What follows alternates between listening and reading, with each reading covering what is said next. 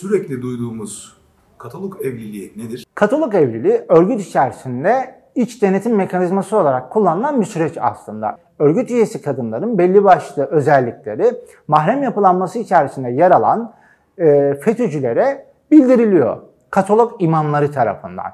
Yani burada kadının e, boyu, kilosu, işte posu, aynı zamanda eğer tesettürlüyse başından açıp açmayacağı, örgüt için ne tür fedakarlıklara katlanabileceği tek tek anlatılıyor. Hatta gerektiğinde içki içer, gerektiğinde dans eder gibi ibareler var. Daha sonra örgüt üyeleri mahrem imamlarının kendilerine uygun gördükleri isimlerle evleniyorlar.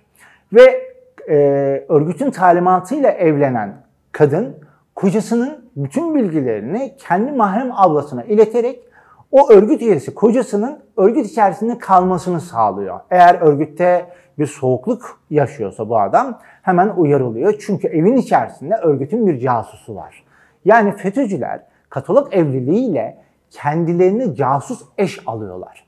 Ve bunu almak mecburiyetindeler. Eğer Katolik evliliği yapmazlarsa maaşlarından kesinti gider. Kopyayla yerleştirildikleri, örgüt tarafından yerleştirildikleri devlet görevlerinden atılırlar. Örgüt bunlara çünkü kumpas kurar. Katolik evliliğiyle evlenme mecburiyetleri var. Hep şununla karıştırılıyor. Ya kardeşim her yapı birbiri içerisinde evlilikle e, işte kendi içerisindeki bağlarını kuvvetlendirmeye çalışıyor. Akrabalar böyledir, köylüler böyledir, işte aynı iş grubundakiler böyledir. Burada öyle değil. Evlenecekleri kişilerin listeleri kendilerine belirtiliyor ve örgütteki görevlerine göre. Eğer örgütte üst düzey bir mahrem imamsa onun kataloğu örgütün alt kademesindekinin kataloğundaki kadınlardan daha farklı oluyor. Yani kademe kademe örgütteki bağlantılarına göre, örgüte bağlılıklarına göre kadınlar belirleniyor ve örgüt üyeleriyle zorla evlendiriliyor. Eğer kataloğunda kendisine verilen kadınlardan bir tanesiyle evlenmezse örgütteki görevlerinden ve örgüt sayesinde sızdığı devlet görevlerinden oluyor bu insanlar.